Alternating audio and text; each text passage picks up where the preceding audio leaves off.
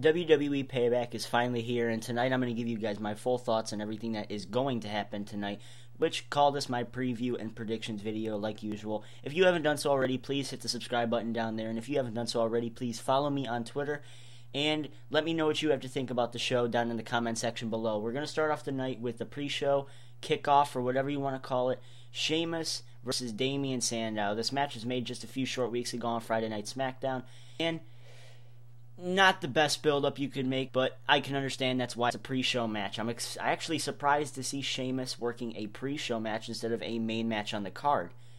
Uh, Damien Sandow hasn't been seen on pay-per-view in quite some time, and tonight I think he's going to be the one to take the fall here. I think Sheamus is going to go in there with a lot of momentum, a lot of hype, and it's just going to be too much for Damien Sandow. So Sheamus is going to get the victory tonight, and uh, that's about it for that one. We're going to move on to the Divas title match. Uh, AJ Lee versus Kaitlyn. Kaitlyn's been so distraught since of what happened with the whole secret admirer thing last week on Raw. Uh, you know, the psychological game getting in here, I think that's actually like amazing to actually bring in something like to the Divas division that's desperately needed. Uh, the uh, they're literally on the cliff towards irrelevancy. They're on the you know, so nobody really exactly cares. And AJ and Kaitlyn tonight could bring that back up. But I do see AJ Lee getting the victory here and becoming the new Divas champion. Um, it seems like it's going to make a lot more sense. And um, just to see most of the gold go around her, Dolph Ziggler, and maybe Biggie Links in the next few weeks. Um, that could be a sight to see for a lot of fans out there. So um, there's that. We're going to move on to the United States title match. Sorry if it feels like I'm kind of being too quick. We're going to uh, move on to the United States Championship match where Kane will be taking on the defending champion Dean Ambrose of the Shield. This match has had tons of build up going in, and that's one of the matches that I'm actually looking forward to the most on this card. Is uh, the Shield matches versus uh, Kane, Daniel Bryan, and Randy Orton later tonight, and these are the matches I'm looking forward to the most because it's like we know the Shield's gonna win, but how exactly are they gonna win? Are they gonna somehow have uh, Seth Rollins, Roman Reigns somehow get involved and beat up Kane while the ref is down or something like that? Either way, they got to make Kane, Daniel Bryan, and Randy Orton look good. Um, especially Daniel Bryan because I'm going to make a little prediction as to what Daniel Bryan's going to be doing after this pay per view. Um, but especially Daniel Bryan. Um, nothing really in the future for Randy Orton and Kane, so that's why I predict Dean Ambrose to get the victory and re- uh, retain his United States Championship in good fashion. I don't think there's going to be any Shield involvement. Um, I think this is just going to be a straight up fist fight. This is going to be a straight out brawl with Dean Ambrose getting the victory in the end. Uh, we're going to move on to the tag team title match as well. Seth Rollins and Roman Reigns of the Shield will be defending against Daniel Bryan and Randy Orton, the unlikely alliance, if you may call them. Uh, these two uh, exchanged words this past week on Friday Night SmackDown, and last week on SmackDown, we had even culminated with Randy Orton RKOing Daniel Bryan. This may turn out to be one of the biggest points in Daniel Bryan's career, and that's excluding his TLC victory uh, 2011 when he won the world title to lose it in 18 seconds three months later. Um, but for this match, the Shield are going to win. But the prediction that I want to make for Daniel Bryan's career is that Daniel Bryan will be the one to turn heel tonight. He's going to be the one to attack Randy Orton, and hopefully, maybe, just so likely, Daniel Bryan will enter a program with John Cena for the WWE Championship or Ryback, but I'll get to that in just a few moments here. Um, I, it's that'll be amazing to see Daniel Bryan in the WWE title picture. It's desperately needed, and I know, I know what you're saying. You know, hey, why would they do that with the crowd so over with them? Think about it. They had no problem turning him heel when he was world champion. I don't think this is gonna really alter his career. In fact, it'll probably start kickstart his career back up with this whole anger management crap that kind of brought him down a little bit.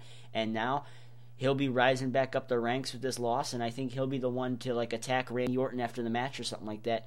You know, getting his revenge after that RKO that he had last week on uh, SmackDown. So another quality match here, but I do see the Shield beating Kane, Daniel Bryan, and Randy Orton in their respective matches.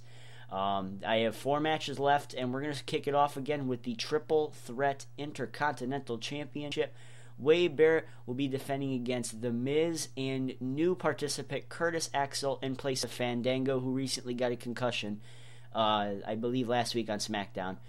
Um, another match that I'm kind of awaiting. I mean, it's pretty obvious as to who's going to win now because, you know, look who's gotten the freaking momentum going into this match. Curtis Axel is going to be winning this match. He's going to be the new Intercontinental Champion. And shades of his father, too. His father was one of the best Intercontinental Champions of all time. And hopefully, maybe booked properly, Curtis Axel will do no different.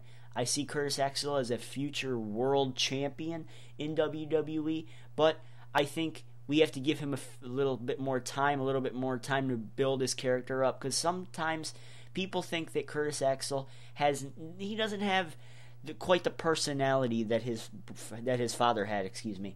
You know, it may be because he's Paul Heyman guy, and you know Heyman's going to be the one doing all the mic work for him. That's needed because if he can't cut his own promos yet, at least give them some foundation to build off of, which is exactly what they're doing with Paul Heyman here. And that's one of the big reasons why I like uh, the direction that Curtis Axel is going. Um, as for The Miz, I don't like where he's going either. I think he should be in the WWE title picture, but that's just my bias. And Wade Barrett, he should he should be a former heavyweight champion now. I don't know why he's wasting his time with the Intercontinental title. So hopefully tonight Wade Barrett will be the shining star out of this entire thing, uh, including losing the title to Curtis Axel. Uh, next match, the World Heavyweight title match, Alberto Del Rio versus Dolph Ziggler. Not a lot of build up here, but I understand exactly why. Dolph Ziggler was out with concussion for about a month now. So, uh, this is his first title defense since. Mm, I think this is his first title defense, actually. Um, I may be wrong there. Or no, he defended in a triple threat match or something like that on SmackDown one. I don't remember off top of my head. But um, I don't think they're going to bring Dolph Ziggler back to lose to Alberto Del Rio. So I think tonight Dolph Ziggler is going to be getting the win with some upper hand uh, things by Big E Langston and AJ Lee, or somehow is going to get involved.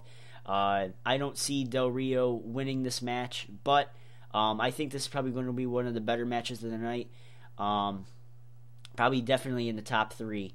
Um, maybe this be number three at, at best, but uh, I don't expect this match to be um, match of the year candidate nor do I expect it to be the worst match in the card. So I guess you guys can see where I'm putting this match um, where it comes to uh, world title matches. And that's another thing. I don't like where the world titles are. It seems like they're taking, well, especially the world heavyweight title, it feels like it's taking a back seat to the WWE title and to the next match I'm going to talk about. And that's what I'm not a big fan of. I'm not a fan of them kind of just shoving the world heavyweight title off to the side while they build up these other two matches with great build up. But like I said, I understand exactly what you guys are saying. Hey, Ziggler was out with concussion. Still, they could have done something with it. Del Rio won a uh, number one contenders match against Swagger last month at Extreme Rules. The least they could have done is have Del Rio go out there, cut a promo on Swagger or something like, or cut a promo on Ziggler, excuse me, because doesn't look like Swagger's going to be getting involved with this match. He's too busy in, I believe, Cleveland court or something like that. He's in court right now. So, uh, with those uh, charges, those DUI charges that I unfortunately didn't get to talk about with you guys, but I think maybe in a future video or something. I'm not exactly sure right now. But right now, Dolph Ziggler will win, and we might see an appearance from Jack Swagger. I wouldn't expect it. Um, in my co-main event, which I believe this is actually the co-main event, um, I know I'm treating it like a UFC card, but nonetheless. Uh, by the way, UFC 161 last night. Anyway, uh, CM Punk will be returning to take on Chris Jericho.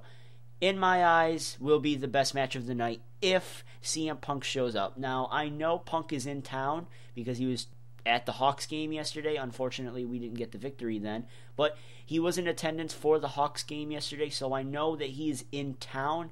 Do I know he's going to be at the show? Not necessarily, but I wouldn't expect if he doesn't. Hopefully, he does, and we get a quality match out of him and Jericho. What am I talking about? Quality? They're going to freaking put on the show. They're going to put on the show of the year, show of the century, everything. You know what I mean? Um, however, if Punk does come back, I do see Chris Jericho getting the victory here. And I know the only reason why I'm saying that is because of two possibilities. One, Punk not even showing up, or two, um, Punk showing up, getting like DQ'd or actually losing, and then having Punk turn on Paul Heyman. Now, I'm not a huge fan of that either, but if that's the way WWE goes, that might be the way they have to go because uh, it seems like there's too many Paul Heyman guys, and I guess Punk being the guy on the inside that's kind of getting the information from Paul Heyman, you know, I guess that's where they could go with it, but in my eyes, I think Jericho does need this win night, and it's probably going to be one of his last matches of uh, the summer because apparently he's going to be leaving on tour again with Fozzy, and he's going to be coming back in mid October now. Um, he's not going to be in town for SummerSlam, not for uh, any of these other pay per views coming up. I believe his last night with the company will be Money in the Bank or the Raw after Money in the Bank. So don't expect to see Chris Jericho on your TV screens very longer. And, um, you know, that's definitely going to be something sad to see. But I do want to see Jericho get the victory over Punk. I think it's needed. Um, off of their WrestleMania 28 confrontation. I think it's desperately needed to get Jericho a big win over CM Punk. Um, and our last match, the main event of the night, the three stages of hell match for the WWE Championship, Ryback versus John Cena. I think it's pretty obvious where everyone, where everyone thinks is going with this. It seems like whenever they give those three stages of hell matches, or what the hell, two out of three falls, it usually always goes to three falls, or it usually goes to uh, the three stages of hell. And it's pretty obvious that it's going to because Ryback comes out in that stupid ambulance all the time. So uh, the first match of the night will be, or the first match of the series will be a lumberjack match with all sorts of WWE superstars uh, circling the ring, so Ryback and Cena cannot escape. I think that's where Cena is going to get his first victory. Uh, the second match the t- is the tables match. That's where Ryback's going to have a lot of momentum. He's going to have a lot of uh, experience with, and he's going to be the one putting Cena through the table. And in the last match, only three ambulance matches I or no not three ambulance matches excuse me three three stages of hell matches and all of them including Triple H by the way.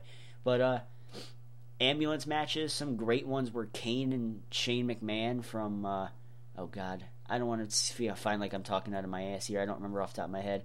So uh John Cena is going to be getting the victory in this entire thing, though. That's what I see happening, and unfortunately, I don't want to see that happen either because I don't want to see Ryback plummet down the card again. I don't want to see Ryback go to SmackDown to win the World Heavyweight title in case Del Rio does win it. I hope that's not exactly what happens, and I hope to God that WWE does not screw up Ryback with having him lose that ambulance match tonight. All in all, I think Payback tonight could be a major flop. And that's coming from me. This is coming from the guy who praised Extreme Rules for being so good. This is the guy who praised TNA Slammiversary for being so good. And hopefully, WWE cannot disappoint this summer. They simply can't. They're starting to run low. The economy's really coming down low. And they, they can't afford to put on a bad show. And I think, honestly, this may be a pretty bad show. I mean, what do you expect? It's taking Capitol Punishment's time slot. So anyway, what do you guys think about tonight? Leave me your predictions and previews down in the comment section below. Also, don't forget to uh, follow me on Twitter for some live stream tweets and you know discuss the pay per view with me. What do you guys think should happen tonight? Should Daniel Bryan be the one turning heel? Should Cena beat Ryback? Should Ziggler defend his or should he uh, retain his world title? And could Curtis Axel become a as good of an intercontinental champion as his father. So let me know what you guys have to think about that, and I will talk to you guys later tonight or early tomorrow for my payback review. Anyway, that's it for me. I'm out. Perry the Entertainer signing out. Peace.